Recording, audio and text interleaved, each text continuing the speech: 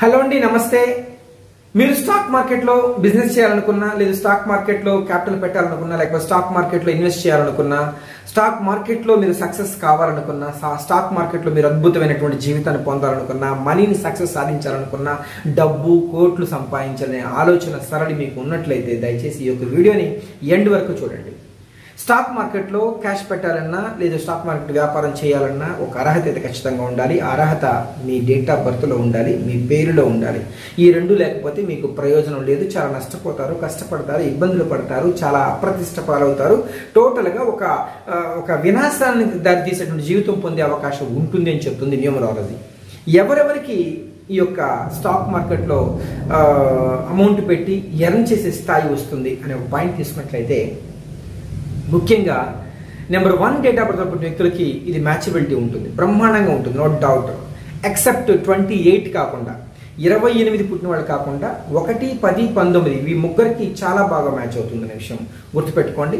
అదేవిధంగా date month year plus చేస్తే వచ్చే నెంబర్ కూడా సెవెన్ వచ్చింది అనుకోండి ఇంకా తిరుగులేదు వీళ్ళకి. షేర్ మార్కెట్లో కింగ్లా వీళ్ళు లైఫ్ లీడ్ చేయొచ్చు. అవకాశాలు ఉన్నాయి కాకపోతే ప్రిడిక్షన్స్ ప్రికాషన్స్ ఖచ్చితంగా తీసుకోవాలి. అది ఎలాంటి తీసుకోవాలి నేను దయచేసి వీడియో ఎండ్లో చెప్తాను. వీడియోని ఎండ్ వరకు చూడండి.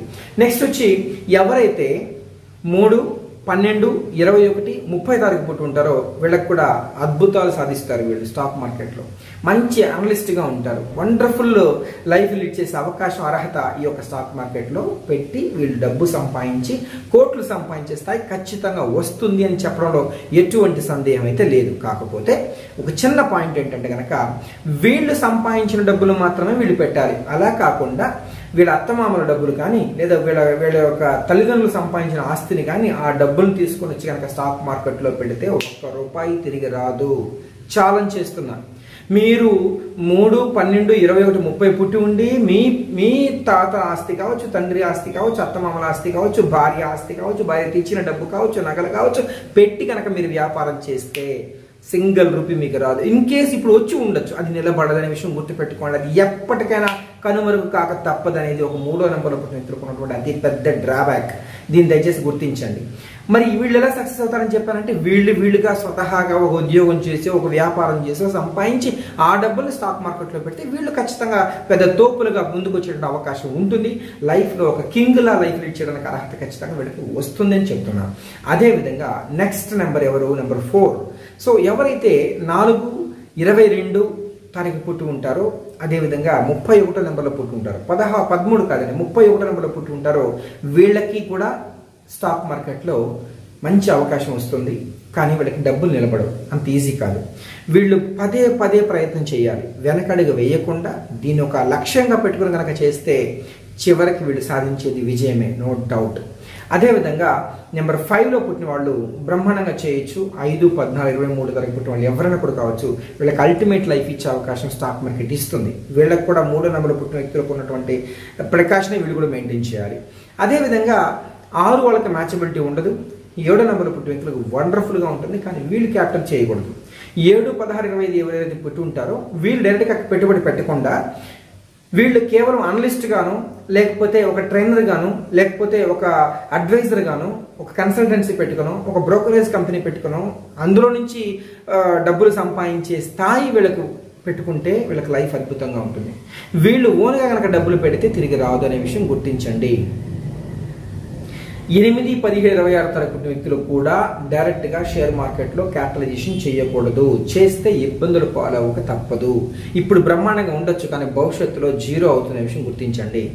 నైన్ ఎయిటీన్ ట్వంటీ సెవెన్లో పుట్టిన వ్యక్తులు కూడా అంత ఈజీగా స్టాక్ మార్కెట్లో ఇమ్మడలేరు. ఒకవేళ ఇమిడినా వాళ్ళ యొక్క డిసిషన్ నెంబర్లో నేను చెప్పిన ఇంతకుముందు పాజిటివ్ చెప్పినటువంటి ఆ నెంబర్లు ఏమైనా ఉంటే కనుక సక్సెస్ అవ్వచ్చే కానీ డైరెక్ట్గా సక్సెస్ అవకాశాలు తక్కువగా ఉన్నాయి. ఎవరు? నైన్ ఎయిటీన్ ట్వంటీ సెవెన్లో పుట్టిన వ్యక్తులకి.